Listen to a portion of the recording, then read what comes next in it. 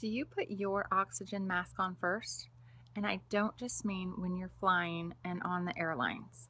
I mean every day in your day to day, weekly routine. Are you taking care of yourself first, physically, mentally, emotionally, spiritually?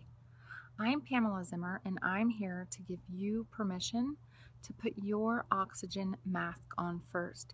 Take care of yourself so that you actually have something left to give those that you are meant to serve. That's all for now. We'll see you next week.